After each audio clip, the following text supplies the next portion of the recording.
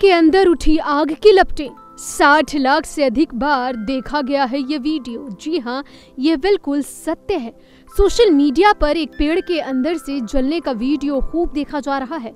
Twitter users ने ये video share करते हुए बताया कि बिजली गिरने से इस पेड़ की ऐसी हालत हो गई है। इस वीडियो की जो बात लोगों को हैरान कर रही है, वो है पेड़ के भीतर उठी आग की लपटें। क्योंकि कम ही देखा जाता है ऐसा कि जब पेड़ के भीतर इस तरह से आग की लपटें नज़र आती हैं। यही वजह है कि इस वीडियो को शेयर किए जाने के बाद से 60 लाख से अधिक व्यूज़ मिल चुके हैं। इस वीडियो को देखने के बाद आप अंदाज़ा लगा सकते हैं कि वाकई में क्या प्रकृति में ऐसा भी कुछ होता है। ट्विटर यूज़र ने ये वीडियो 19 अक्टूबर को शेयर किया था, जिससे खबर लिखे जाने तक 30 लाख से ज़्यादा लाइक्स मिले। साथ ही इसे करीब अस्सी हज़ार बार रीट्वीट किया जा चुका है और हाँ अस्सी हज़ार लोगों ने इस पर अपनी प्रतिक्रियाएँ भी दी हैं।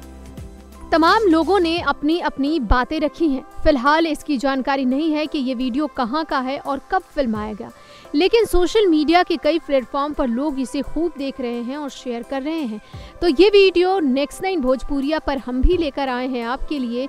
देखिए ये वीडियो और आश्चर्यचकित इस वीडियो को देखकर बहुत सारे अपने कमेंट दीजिए, बताइए कि आप क्या सोचते हैं इस वीडियो के बारे में? इस पेड़ को देखकर आप क्या सोचते हैं? पेड़ में जिस तरीके से लगातार ज्वाला उठ रही है, इस ज्वाला के बारे में क्या सोचना है आपका?